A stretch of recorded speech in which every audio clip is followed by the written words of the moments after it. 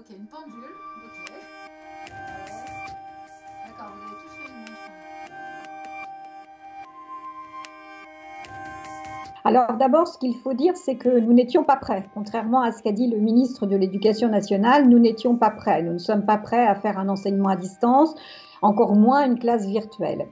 Pour autant, euh, les enseignants ont vraiment fait leur maximum depuis le, début de la semaine. Ils ont fait preuve d'inventivité, de créativité et ils ont fait en sorte surtout que les enfants qui euh, n'ont pas d'outils numériques, euh, dont les familles ne disposent pas d'un ordinateur, puissent quand même suivre un certain nombre d'activités.